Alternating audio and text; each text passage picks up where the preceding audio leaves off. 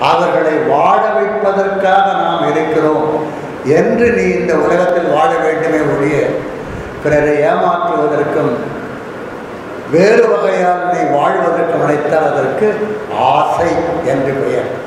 ஆசு என்பதற்கு குற்றம். ஆசை என்பது குற்றத்தின் அடிப்படையில் வருகின்ற எல்லா எண்ணங்களுக்கும் ஆசை என்று பெயர்.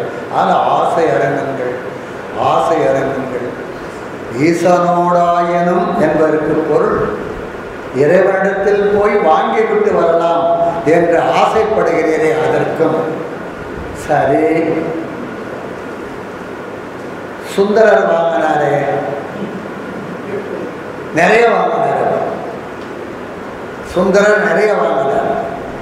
இந்த உலகத்திலே நாயன்மார்களாக பிறந்தவர்களிலே அதிகம் வாங்கியவர் யார் என்று கேட்டால் சுந்தரர் தான். கொடுத்தா வாங்கி கொள்றது அப்படின்னு சில பேர். சில வாங்கி கொள்ளாத போனாலும் வற்புறுத்து கொடுத்து இப்படியெல்லாம் அடியில் இருக்கிறார்கள் ஆனால் கேட்டு வாங்குவதற்காகவே வந்தவர்.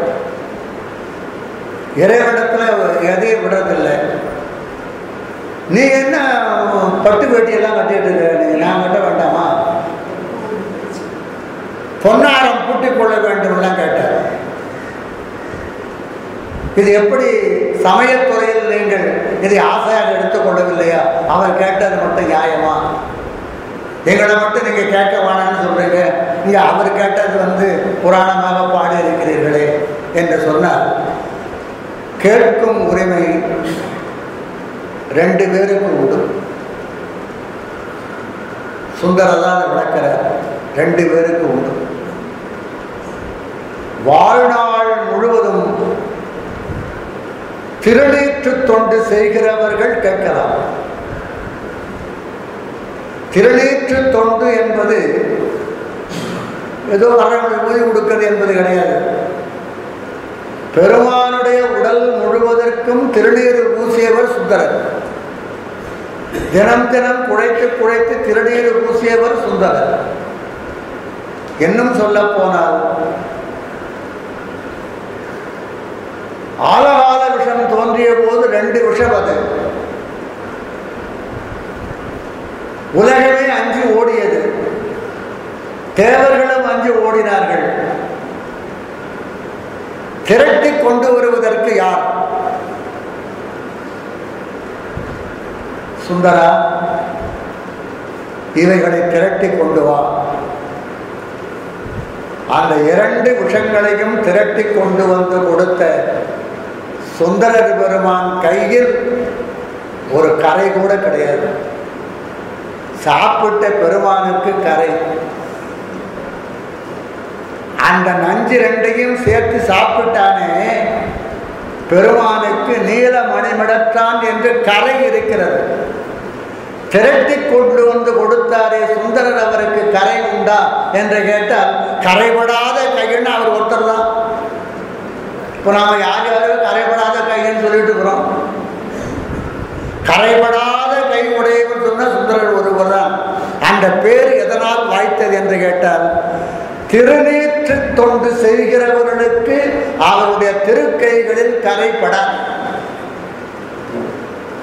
திருநீற்று தொண்டினுடைய நேர் பயன்.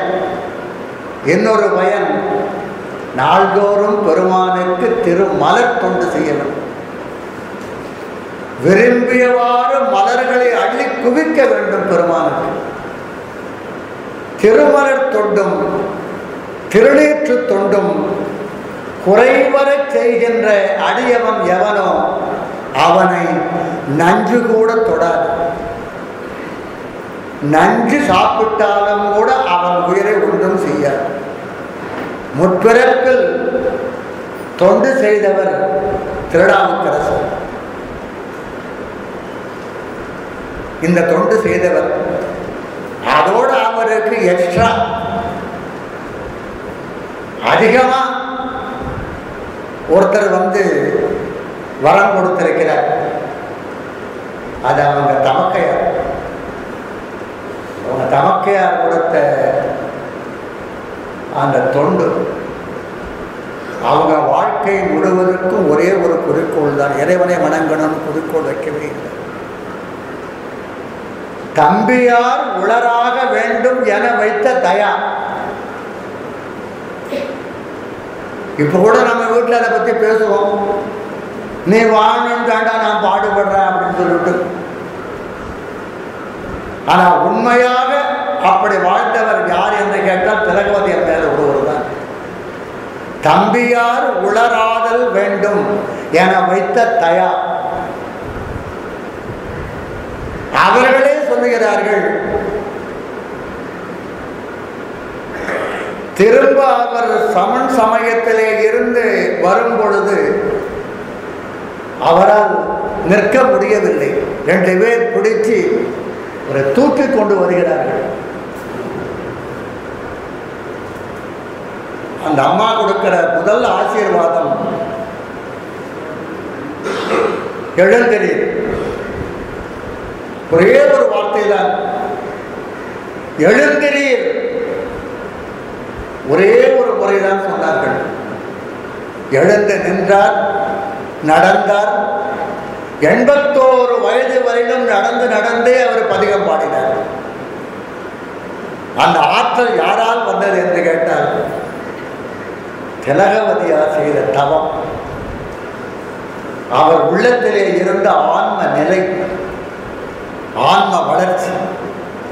எதற்காக உயிர் வாழ்ந்திருந்தார் தம்பியார் போய்விட்டாரே என்பதற்காக வருந்து கொண்டிருந்தவர்.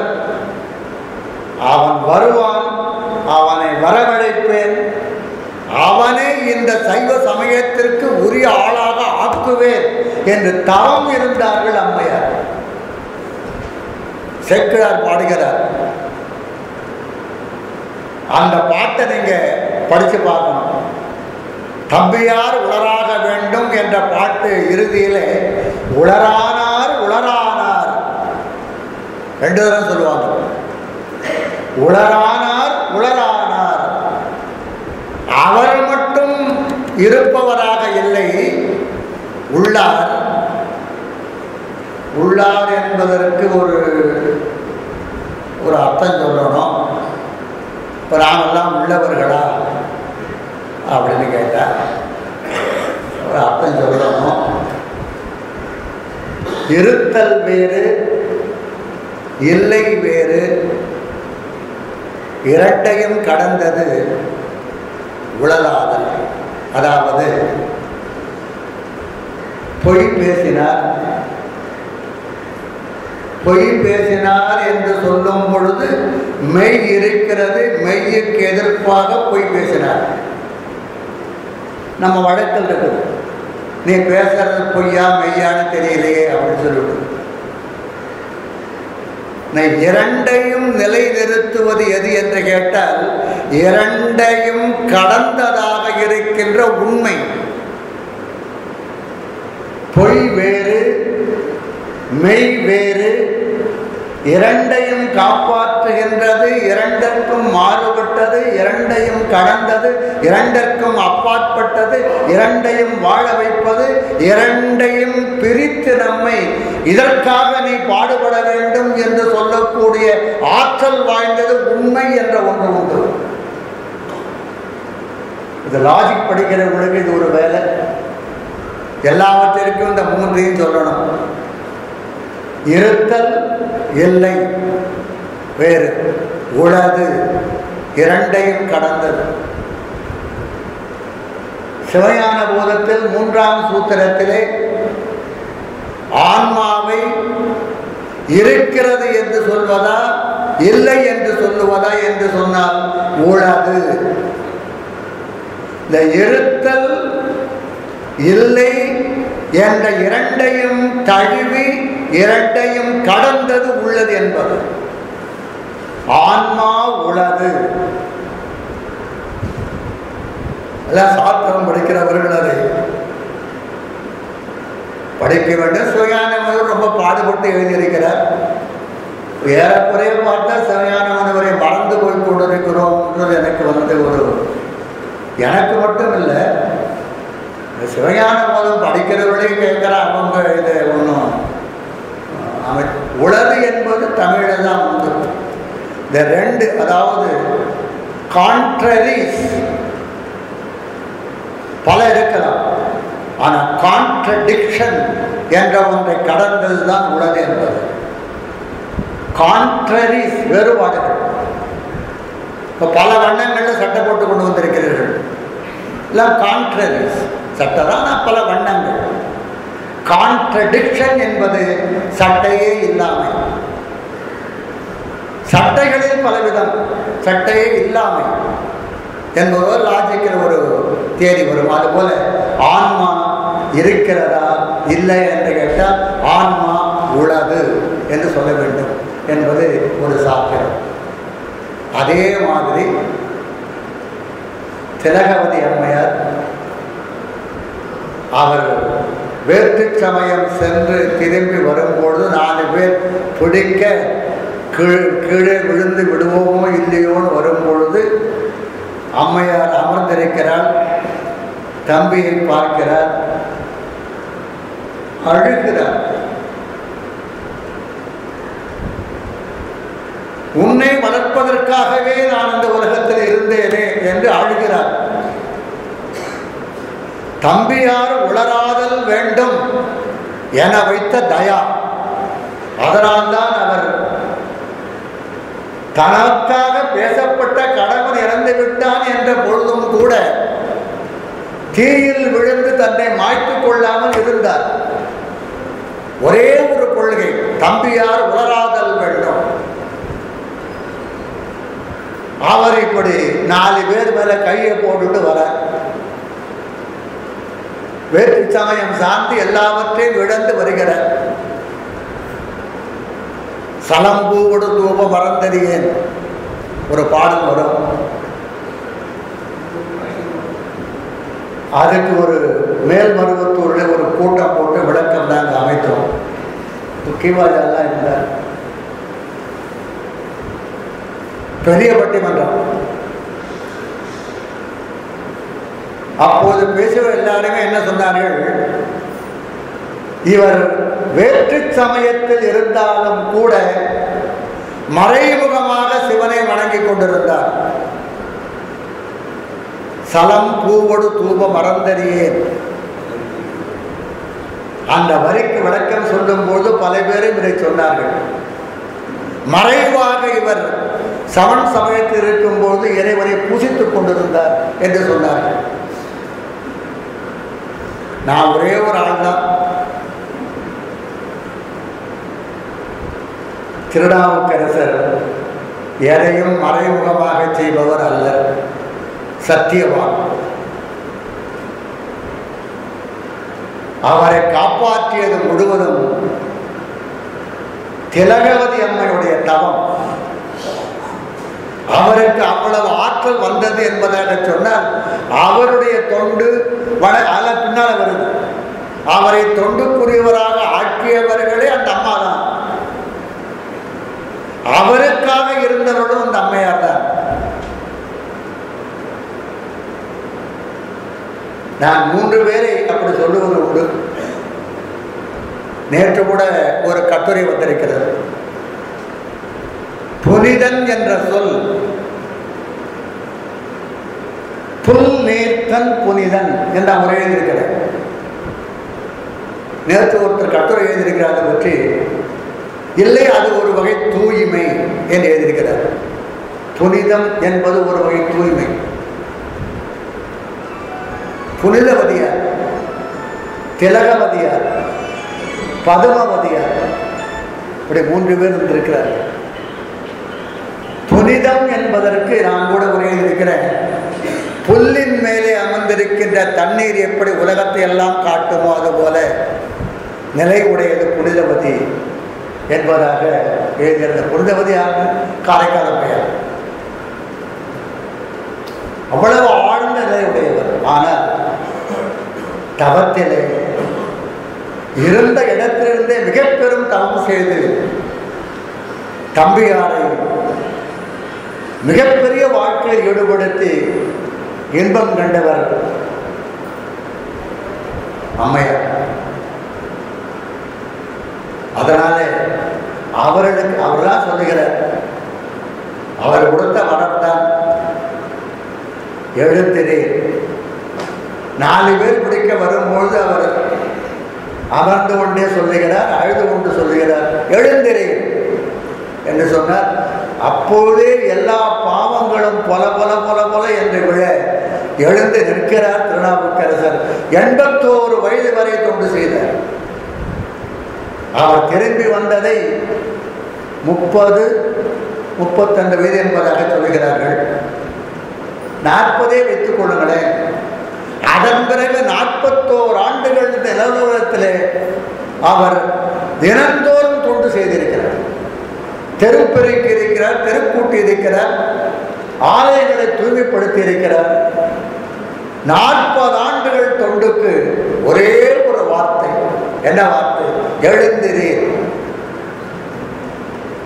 அவன் எவ்வளவு பெரிய தவம் செய்திருக்க வேண்டும் என எடுத்துப்பார்கள். அவ்வளவு பெரிய உயர்ந்த நிலை திலகவதியாருடைய இன்றைக்கு அந்த அளவுக்கு தம்பிக்கால செய்தவங்க யாருன்னு நமக்கு தெரியாது. தம்பி வந்துட்டாலே சொத்துல பார்த்து கேட்க போறான். நாங்கள் எல்லாம் ஒன்றா பிறந்தவர்கள் இதெல்லாம் இன்னைக்கு வருகிறது. உளராதல் வேண்டும். அவன் வாழ்வது மட்டுமல்ல அவன் வாழ்வு இந்த உலகத்தாரை வாழ வைக்க வேண்டும் என்று தவம் இருந்தவர்கள். திலகவதிகள் அவங்க சொன்ன ஒரே ஒரு வார்த்தை அதுதான். எழுந்திரி எழுந்து இருக்க வேண்டும் நீ. ரெண்டா பிரித்து கொள்ள வேண்டும். நீ எல்லாரையும் பிடித்து கொண்டு வருகிறார்கள் உன்னை எல்லாரையும் பிடித்து தூக்கி கொண்டு வருகிறார்கள். எழுந்து இரு. எழுந்திரு. எழுந்திரு அப்போ எழுந்தவர் தான் கடைசியில இந்த பெருமான் வந்து கூப்பிடுறான்.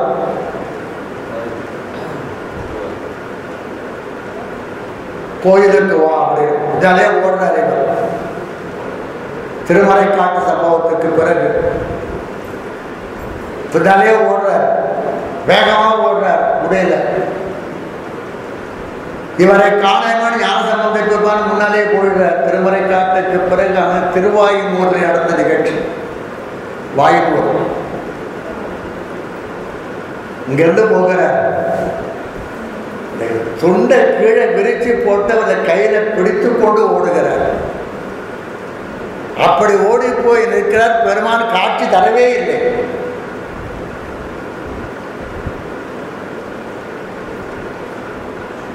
ஞானசம்பந்தர் தான் சொல்றார். இதோ இருக்கிறான் நம் பெருமான் நிற்பார். அரசும் காண காட்டுதலும். பெரிய வானத்தில். பாட அடியார் பரவ கண்டேன் என்பதாக சொல்லி ஒரு தாண்டகமே பாடுகிறார். அப்படி இறைவனை நேராக கண்டு அனுபவிப்பதற்குரிய வாய்ப்பை அவருக்கு வழங்கியவர் அவருடைய தமக்கையர். அதனால்தான் நான் சொல்லுகின்ற பாட்டிலே நீண்டாளுமாய் எனக்கு எந்தையுமாய் உடன் தோன்றினார் எங்கள் அக்கா அக்கை உடன் தோன்றினார் என் உடன் தோன்றி என்னை இதுவரை இருக்க வைத்து வாழ வைத்தவர் இறைவனோ இறைவியோ என்று சொல்ல மாட்டேன் எங்கள் அக்கா. உடன் தோன்றினார் அழுதெழுது பாடுகிறார். காரணம் தமக்கையார் செய்த தவம். அப்படிப்பட்ட தவம் செய்தது. அவங்க எங்கேயும் போகல. அவங்க ஒன்றும் தலப்பயணம் எல்லாம் செய்ததாக ஒன்றுமே தெரியல. ஞானியாரடிகள் அங்கே வரும் பொழுது திலகவதி அவர்களுக்கு வந்து ரொம்ப திருவதியில திலகவதியா ரொம்ப ஈடுபாடு உண்டு. அங்கே வரும்பொழுது அவர்கள் பல்லக்கில் போக மாட்டார்கள் எனக்கு கேள்வி சில சமயம் புரண்டு கூட போனார்கள் என்று. என்னால் செய்யப்பட முடியவில்லை? வயதான காலம். அடிக்கடி திலக திருமதிக்கு வருவார்கள். அதிகை அதிகை அதிகை என்பதற்கு அவர் சொல்லுகின்ற அர்த்தமே கை என்றால் ஒழுக்கம் என்பதற்கு மனிதர்களால் செய்யப்பட முடியாமல் தேவர்கள் முதலியவர்களால் செய்யப்படுகின்ற மிக பெரும் ஒழுக்கத்தை இந்த நாட்டிலே செய்து காட்டியவர் திலகவதி அம்மையார் என்றெல்லாம் பாராட்டுவார்கள்? யாரையும் அவர் துதித்து பாடுவதில்லை. ஞானியார் சுவாமிகள் ஆனால் திலகவதி அம்மையாரை பற்றி மட்டும் துதி பாடியிருக்கிறார். காரணம் இந்த அறுபத்தி மூணு நாயன்மார்களில் யாராயிருந்தாலும் சரி திலகவதி என்பார் மாதிரி அவருடைய உள்ளத்தை ஈர்க்கவில்லை. அடிக்கடி திலகவதி அம்மையாரை பற்றி அவர் அவருடைய பேச்சில் எப்போ ஏதாவது ஒரு முறை திலகவதி அம்மையாரை பற்றி வருவார் திருநாவுக்கரசருடைய வாழ்வுக்கு மூலமாக இருந்தவர் திருநாவுக்கரசர் உண்டு என்று சொல்வதற்கும் உலகத்தில் தொண்டு நிலை பெறுவதற்கும் மூலமாக ஒரு நமக்கு என்பதாக சொல்லலாம் பாராட்டுவார் நான் அதையே நீட்டிக்கொண்டு போகவில்லை. விண்ணினார் வெண்ணின் நிற்கார். வேதங்கள் நான்கும் அங்கம் பண்ணினார். பண்ணின் மிக்க பாடனார்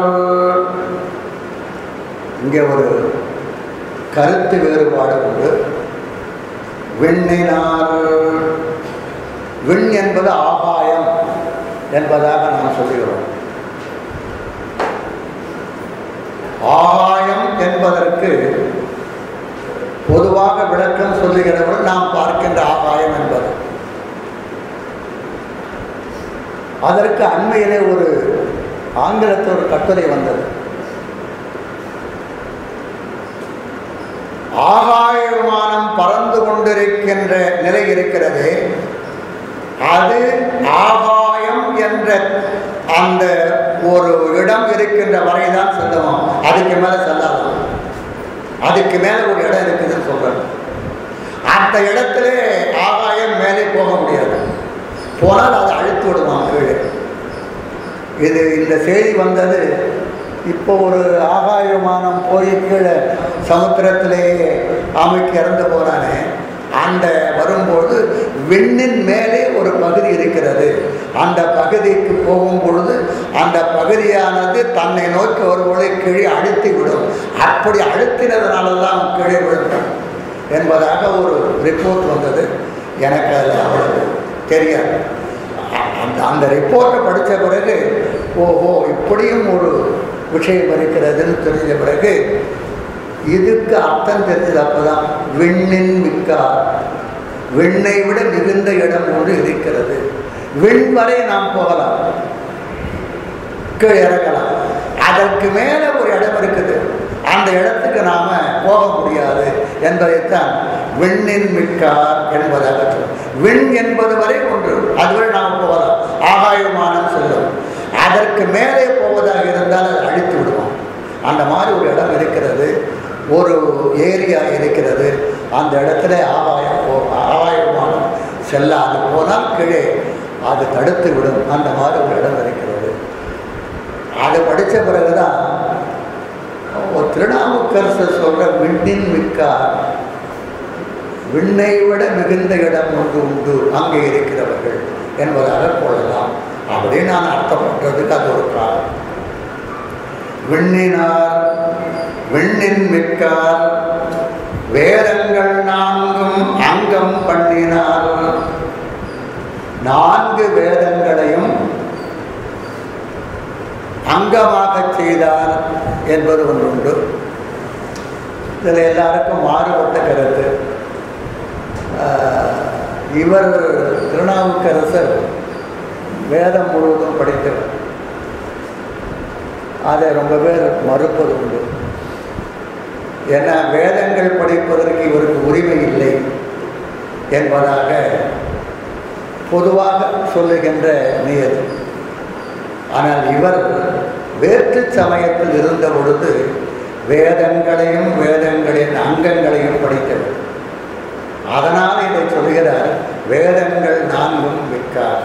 வெண்ணினார் விண்ணின் மிக்கார். வேதங்கள் நான்கும்.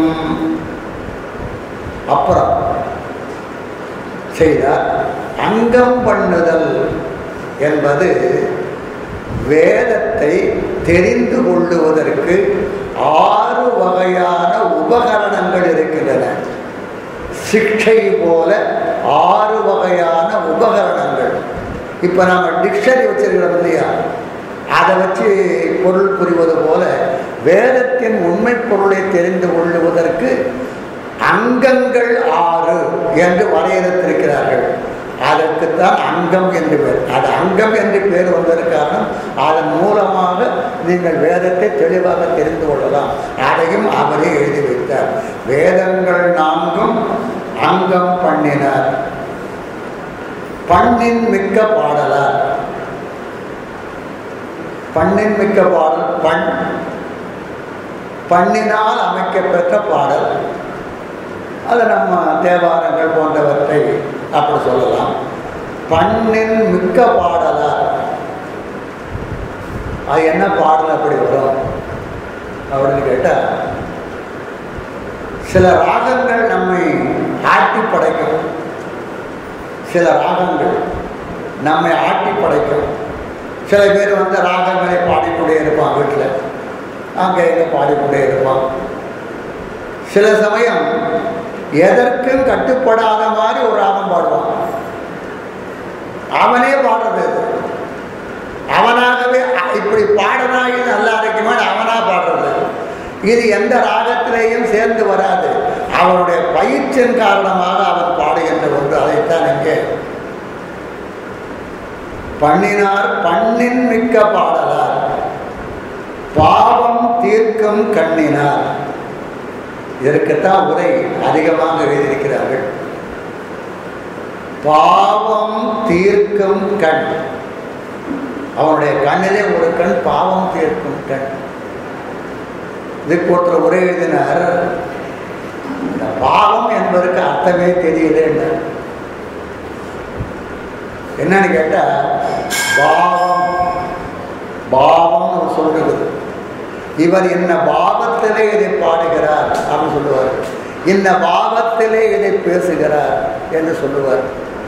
காலையில் வந்த உடனே அம்மாவை கூப்பிட்டு பையன் சொல்லுவான் இன்னைக்கு நீ மத்தியானம் சமைக்காதம்மா. நீ தினம் தினம் சமைச்சு சமைச்சு நீ ரொம்ப கெட்டு போற. நீ இன்னைக்கு சமைக்க வேணாம். அப்படின்னு சொல்லுவான். புள்ள என்ன பாவத்தில் சொல்கிறான் அப்படின்னா மத்தியானம் ஹோட்டலில் சாப்பிட்றதுக்கு ஏற்பாடு பண்ணிட்டு அதனால் நமக்கு சாதகமாக பேசுகிற மாதிரி உனக்கு உடம்பு சரியில்லை. காலையில் தொட்டு பார்த்த உடம்பு சுடுது சமைக்காத. ஓய்வெடுத்துக்கொள் இப்படிலாம் புள்ள சொல்கிறான்னா அவனுடைய பாவம் வேற. வேற எங்கோ சாப்பாட்டை அவன் வந்து ஏற்பாடு பண்ணி அங்கே போகிறதுக்கு நம்ம ஏற்பாடு பண்ணுறான் பாவம். அது மாதிரி ஒரு கண் இறைவனுக்கு இருக்குதுங்கிற ஏன் என்ன நினைக்கிறான்னு தெரியாது என்ன செய்யறான்னு தெரியாது.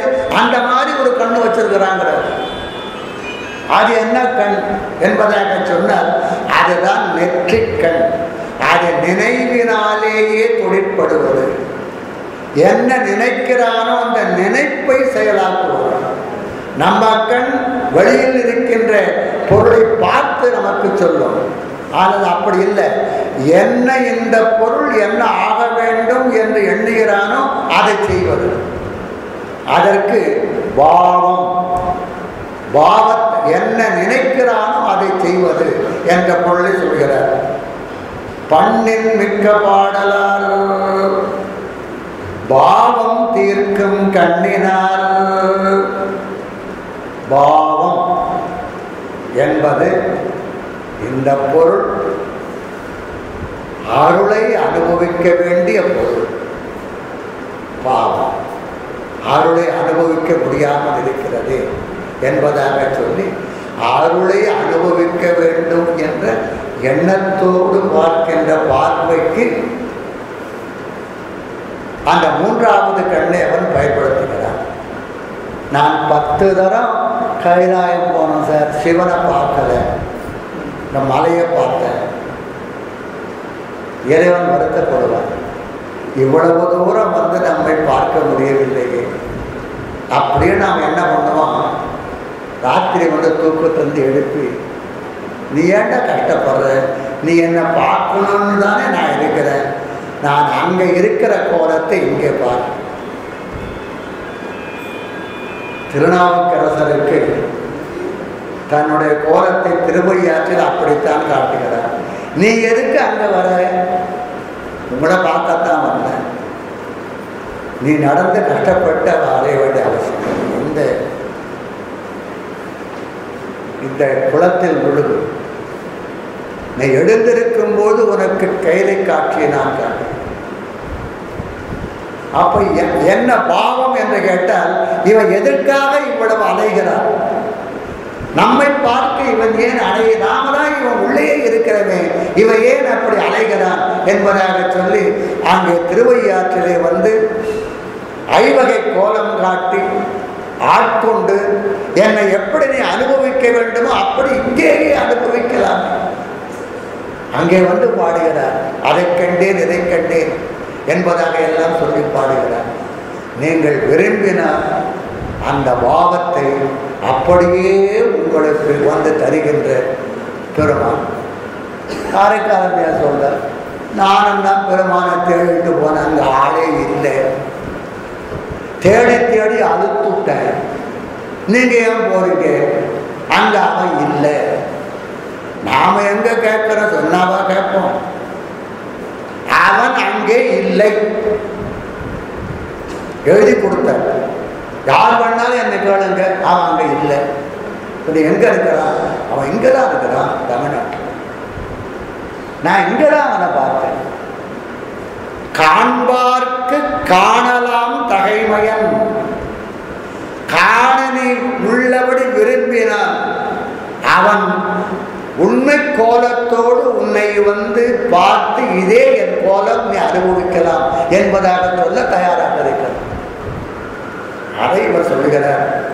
பண்ணின் மிக்க பாடலார் பாவம் தீர்க்கும் கண்ணினார். நம்முடைய பாவங்களை எல்லாம் நாம் நினைப்பதையெல்லாம் தீர்த்து வைக்கின்ற கண்ணினார். கண்ணின் மிக்க நுதலினார். கண் பார்க்கும் நுதல் நினைக்கும்.